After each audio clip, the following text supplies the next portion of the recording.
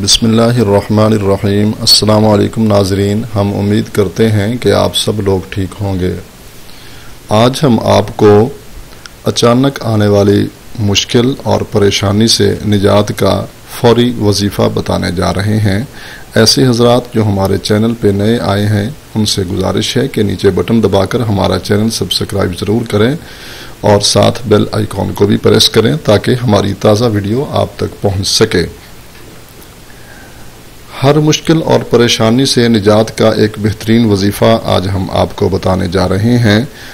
زندگی کی اس دوڑ میں ہر انسان کے ساتھ دکھ بھی ہے اور سکھ بھی ہے۔ کبھی خوشی انسان دیکھتا ہے اور کبھی پریشانی اس کا مقدر بنتی ہے۔ تو فوری طور پر آنے والی مصیبت، پریشانی، دکھ اور مشکل انسان کو بسا اوقات بہت مشکل میں ڈال دیتی ہے اور انسان بعض اوقات حوصلہ اور ہمت ہار جاتا ہے۔ تو اس کے لیے آج ہم آپ کو ایک مختصر سا وظیفہ بتانے جا رہے ہیں اور انشاءاللہ العزیز آپ جب اس کو استعمال کریں گے تو اللہ کی رحمت سے، اللہ کے فضل و کرم سے آپ اس کا بہترین رزلٹ پائیں گے۔ لیکن یہ یاد رہے کہ نماز اس کے لیے شرط ہے، نماز کی کوشش آپ نے ضرور کرنی ہے۔ پانچ وقت نماز آپ پابندی سے پڑھیں۔ روٹین میں بھی آپ نماز پڑھا کریں کیونکہ اللہ تعالیٰ کا حکم ہے اور ہر مسلمان پر یہ فرض ہے۔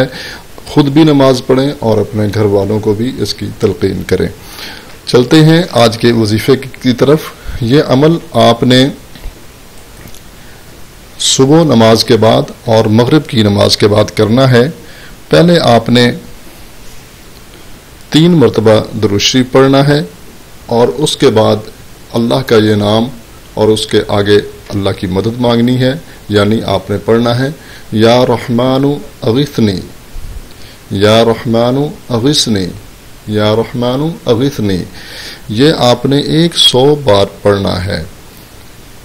آپ نے اس کو ایک سو بار پڑھنا ہے اور پھر تین مرتبہ آپ نے درو شریف پڑھنا ہے۔